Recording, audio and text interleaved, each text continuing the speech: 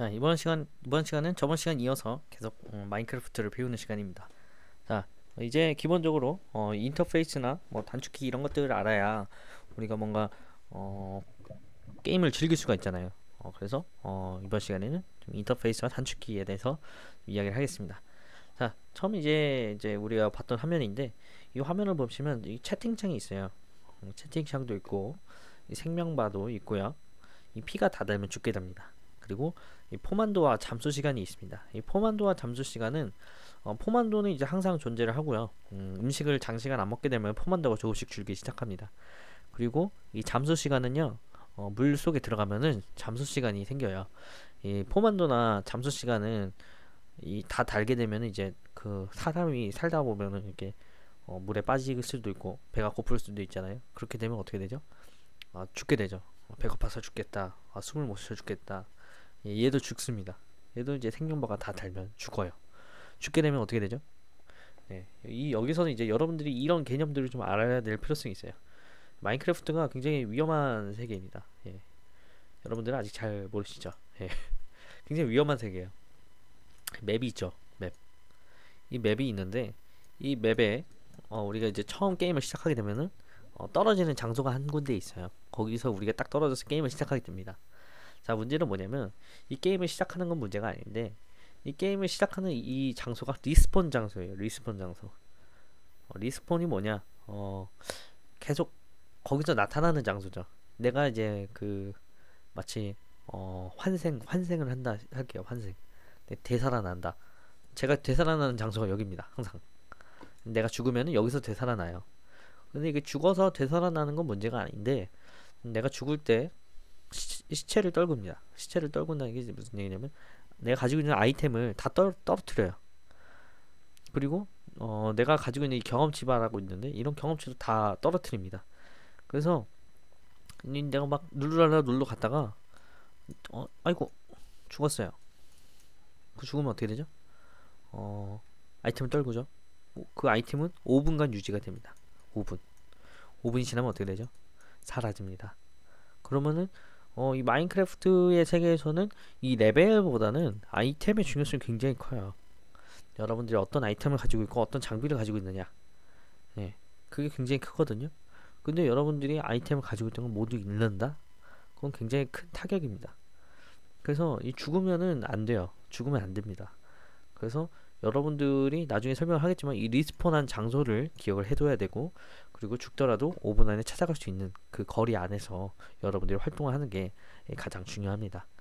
그래서 어, 여러분들이 죽지 않기 위해서는 일단 포만도와 잠수 시간을 가장 많이 신경 쓰셔야 되고요. 포만도가 다 달게 되면은 에너지가 달기, 달겠지만은 포만도가 꽉 찬 상태라면 에너지가 찹니다. 에너지가 차요. 그러니까 여러분들 HP가 떨어졌다 그러면 막 먹어야 돼요. 먹으면 HP가 찹니다. 굉장히 빠른 속도로 차요.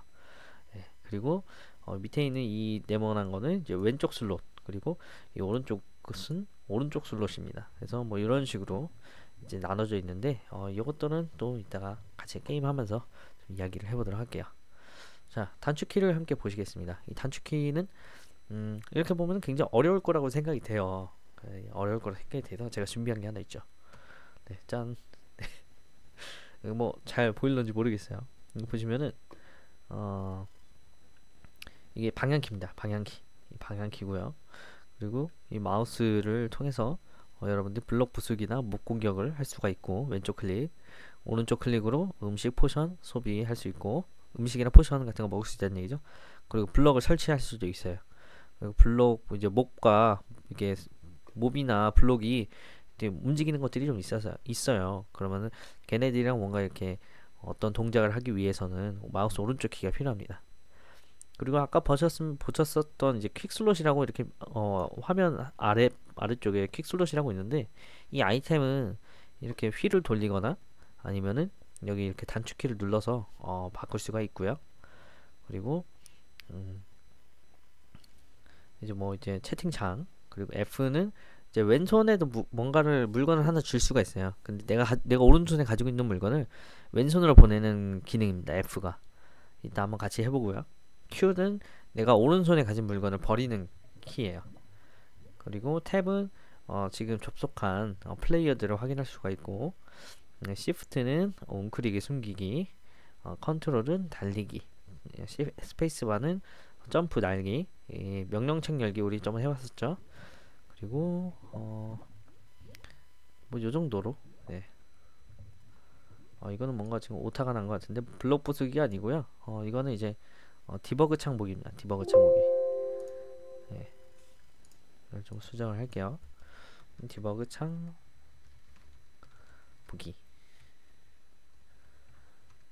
네, 그래서 debug 창이라고 우리가 여러 게임에 대한 내용을 확인할 수 있는 내용이 있는데 그런 것들을 확인할 수가 있어요. 네, 그 정도 한번 어, 게임하면서 같이 얘기해 보시죠. 네. 자, 이제 게임 게임에 들어왔는데 어, 서바이벌 모드로 바꾸겠습니다.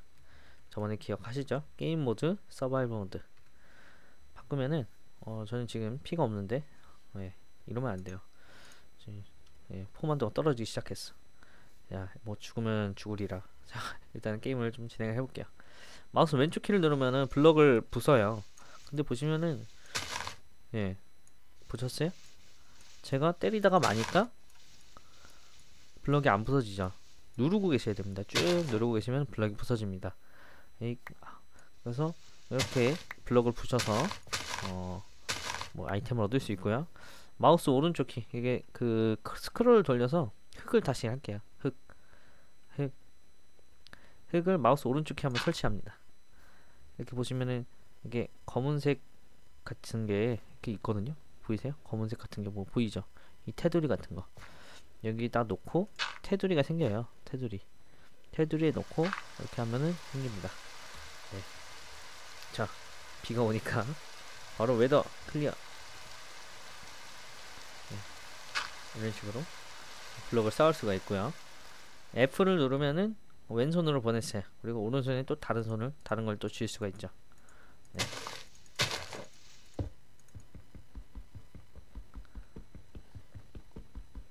이런 식으로 이제 할 수 있다. 그리고 Q를 누르면은 Q를 누르면은 버려요. 아이템을 버릴 수가 있어요. Q Q 아이템을 넣어 버릴 수가 있고 어 뭐, 한번 달리기를 해볼까요? 달리기 컨트롤 누르면 달립니다. 아 달려요 달려요. 네, 스페이스바는 점프. 예. 그리고 creative 모드에서 점프를 두 번 누르면 뜨거든요. 네, 그거 좀 이따 얘기하고 이렇게 막 뛸 수가 있고 시프트 누르면 웅크리기인데 웅크린 게 티가 안 나죠? 네, 웅크린 게 티가 안 나는데 이거를 보시려면 F를 한번 눌러보세요. 시점이 전환되거든요. F 한번 더 누르면 앞에서 볼 수가 있어요. 이렇게. 자, 그 다음은 이제 F5를 한번 누르면은 이렇게 다시 원래 시점으로 돌아옵니다.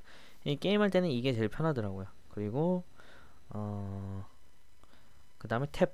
탭은 이제 아까 제, 저번에 제가 이제 말씀드렸던 그 창이죠. 탭 창도 있고 T를 누르면은 채팅창. 채팅 한글도 쓸 수가 있어요. 안녕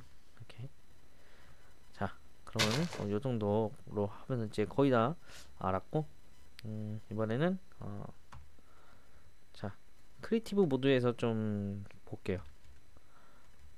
아 장비창을 빼먹었네요. 장비창 E키 누르면 장비창이 열립니다. E키 네, E키 누르면 장비창이 열려요. 그래서 우리가 여, 여기서 여러 가지 물건들을 많이 제작할 겁니다. 자 그리고 음, 밤이 돼가니까 time set 아 그냥 그냥 진행할게요. 게임 모드 creative 바꿉니다. 그러면 이제 creative 모드가 됐고요. 스페이스바를 두 번 누르면 뜹니다. 뜨 떠요. 그쵸?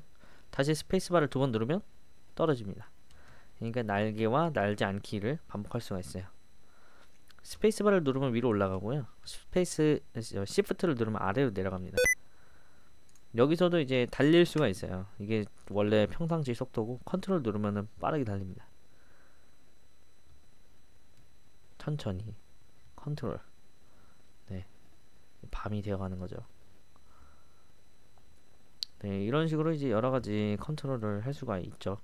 그래서 여러분들이 일단 기본적으로 알고 계셔야 돼서 어, 좀 설명을 드렸습니다. 자, 그럼 다음 시간에 어, 계속해서 게임을 진행하도록 하겠습니다.